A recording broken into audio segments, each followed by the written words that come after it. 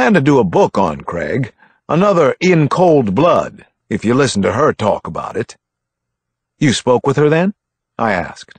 I did, on all three of her visits. Half an hour or so the first time. How did she seem to you? What was your impression? Warden Croc moved his head back and forth as if he were weighing his answer. Finally, he spoke. She seemed like a fan. Honestly, I wondered if she and Craig had something going before he was caught. Chapter 37 I returned to Washington early the following morning, having already passed along the news about Tess Olson, the Hallmark card in Craig's cell, and the possibility that Kyle may have had a relationship with Olson, or even with the killer in D.C. But more than anything else, I wondered what Kyle was planning. Bree had pulled together a small forensic team focusing on the blog leads she was chasing down. An agent named Brian Kitzmiller from the FBI's cyber unit had been assigned to us and was more than willing to come on board. The audience killer case had already caught his attention. Bree asked Kitzmiller for the earliest possible meeting after he'd had a chance to go over the blog. Kitzmiller gave us a four-hour turnaround, which meant he was fast. Another good sign that we had everybody's attention on this case. We showed up at the Hoover building close to three. I certainly knew my way around there, though I'd never done much work with the cyber unit, and had never met Kitzmiller. I'd heard of him, however, and knew he had a reputation as a puzzle solver. Come on in. Even seated in front of a work terminal, he was obviously very tall and gawky-looking, with the brightest orange hair I'd ever seen in my life. This part of the unit was a low-ceilinged room on the second floor, a few floors below my old office. Everyone sat in wide stall-like cubicles with their backs to the center, where a large octagonal conference table was strewn with papers, files, and laptop computers. People did work here. Good sign. A glass wall separated the unit from the busy corridor outside. Bree, Sampson, and I grabbed chairs and sat down in Kitzmiller's stall.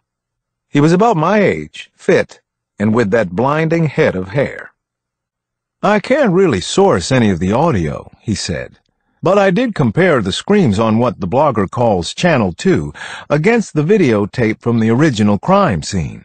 It's almost definitely a match. But that's not quite the same as a forensic link between the blog and the killer. Theoretically, anyone could have posted this. You mean if someone else had access to the recording, I said. We're all in agreement that the audio is original, right? Sure, he said. So it's either your suspect or someone who was given access by the suspect. Hard to tell about that for sure yet. Let's focus on one thing at a time, Bree said. You told me on the phone that the blog was posted from Georgetown University. Is that right? Or at least through Georgetown. That's the basic problem I'm seeing already, Bree. Whoever put up the blog knew how to cover his or her tracks fairly well. Proxy server? Sampson asked. His little niches of expertise always surprised me. Kitzmiller smiled appreciatively at Sampson, but then he shook his head. Negative. Worse, actually. He used an open proxy. Universities are notoriously easy marks for this kind of thing. Any boob can remotely attach their IP address from anywhere, and wham, you've got an untraceable site. All I can get you is a location, nothing about identity. Any suggestions at all? Bree asked. We really need your help on this. Sure.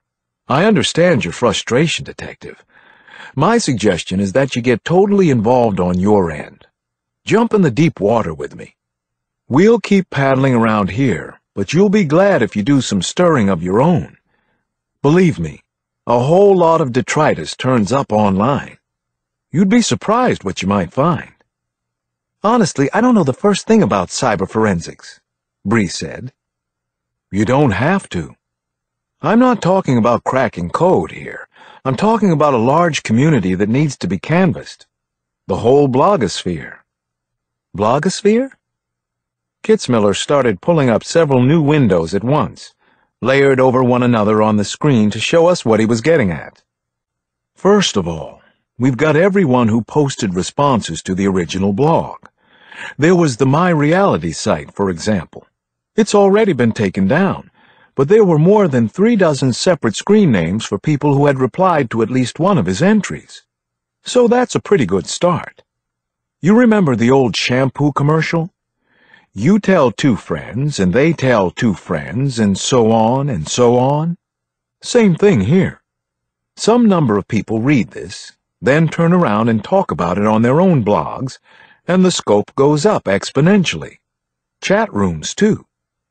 Now, add that to the fact that you've got a killer who apparently likes to be in the spotlight. There's a good chance he'll stay a part of the community in some way. People intersect. You find the right intersection, maybe you solve your case, find your killer. Go into the Detectives Hall of Fame. That's a lot of ifs, Bree said. I don't like ifs and maybes. People had been talking about cyberspace as the new frontier in law enforcement for years now. It looked like I was about to get my first extensive taste of it. Kitzmiller ran a simple Google blog search for us to illustrate his point. He searched audience killer and got a whole screen full of responses. Wow, said Bree. I'm kind of impressed already. Or maybe I should say depressed. That's a lot of detritus. Sampson added, Fuck, it's an epidemic. You notice he never uses that full title on his own site. That's probably why you hadn't found it earlier.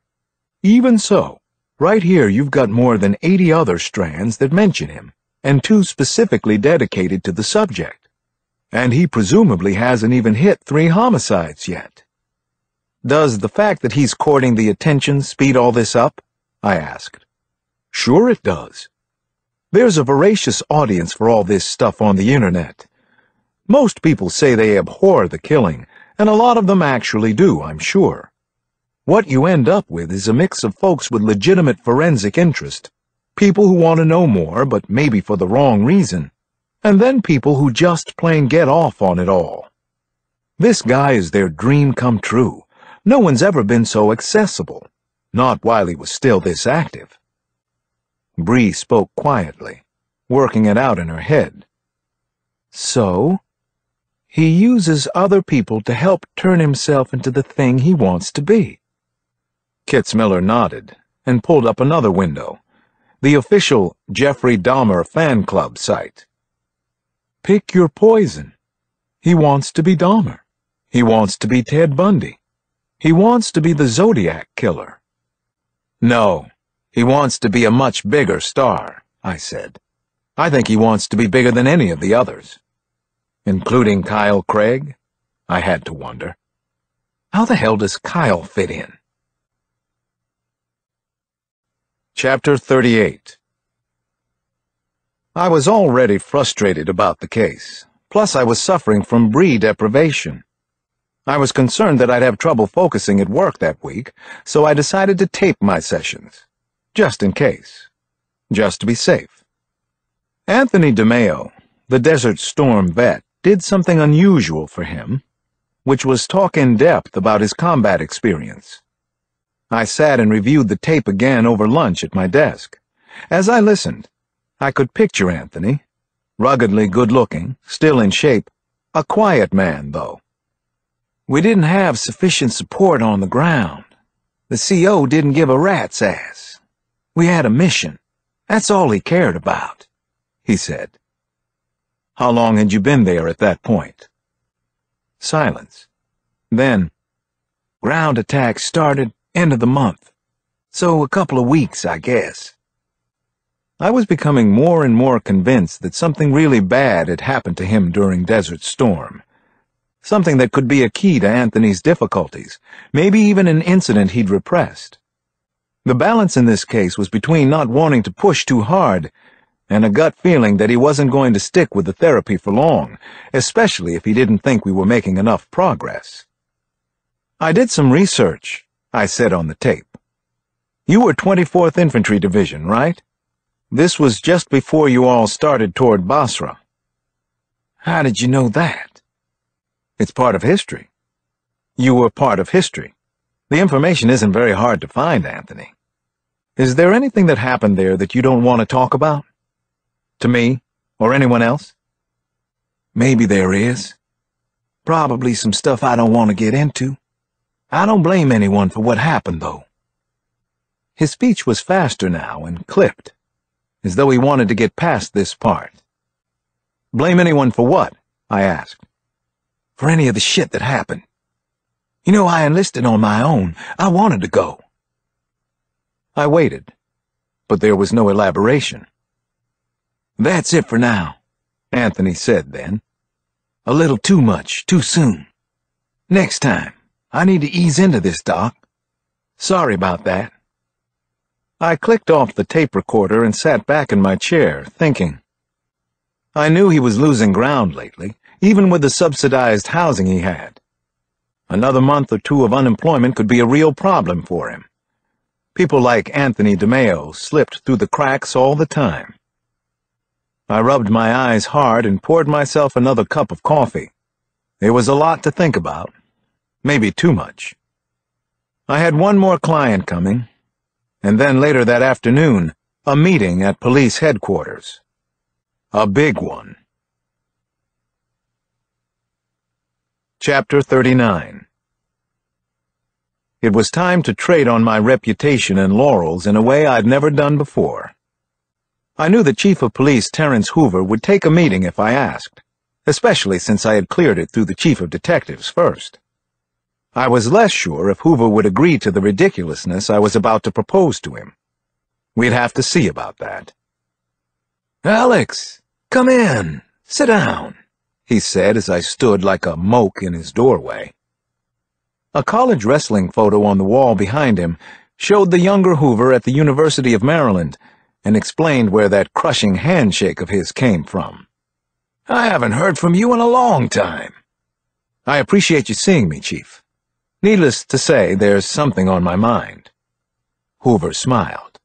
So we're skipping the idle chit-chat, huh? Okay. What are you after, Alex? Nothing too complicated. Just a job. Hoover blinked and ducked his double chin. A job? Well, shit, Alex, that is a surprise. I thought you were coming to ask me for something. Instead, you're here to offer me something.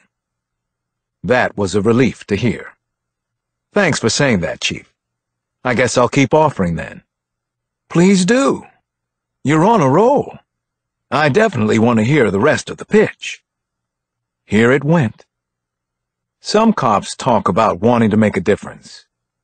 I guess I'd say that I believe I can do more good than harm, and that's a reasonable objective. I want to come back on the force, but in a limited capacity. I'd like to work the Major Case squad, but outside of the regular rotation. Specific assignments only. I've been consulting on the Kennedy Center and Connecticut Avenue murder cases already, and if any of this is agreeable to you, it would be a seamless re-entry for me. I know the team, and I think I could be an asset. Hoover laughed out loud. I've heard some pretty good speeches in here, but that one goes on the short list. He pointed at me. You know you can afford to be this cocky, 'cause you know damn well I'm gonna say yes. Just figured I'd lay it out there. He stood up, and so did I. Well, the answer is yes. Let me have Arlene call recruiting, and I'll speak to the superintendent myself. We'll work something out. Superintendent of Detectives Ramon Davies I knew would be my boss on the Major Case squad. Davies was above Thor Richter, and if I could get this investigation taken out of Richter's supervision, we'd be able to move a lot more freely on it. I think I just cashed in every chit I've got, I said, shaking Terence Hoover's hand again. It'll be good to have you on this one, he said. I hear they're calling him the audience killer. Since I had come up with the name, I was tempted to smile, but didn't. Audience killer, huh? I guess that sounds about right. Chapter 40 I hooked up with Bree and Sampson back at the Daly Building that evening. I'd already been given an office there, and it was doubling as a nerve center for the audience killer case. It felt a little like a college dorm room, with the three of us crammed in there together. I'd never worked this way before, quite so cooperatively.